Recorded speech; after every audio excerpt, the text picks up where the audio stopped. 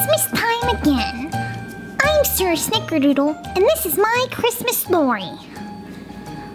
A new Christmas sweater just for me? I love it. Oh, don't let me get stuck inside.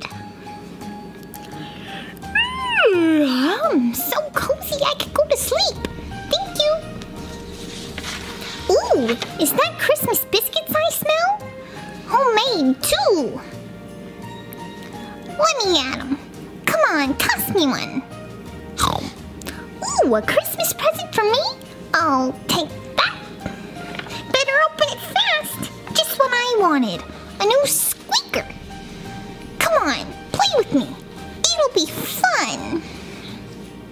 Ah, this is the best Christmas ever. With my family. I'm a lucky dog. Merry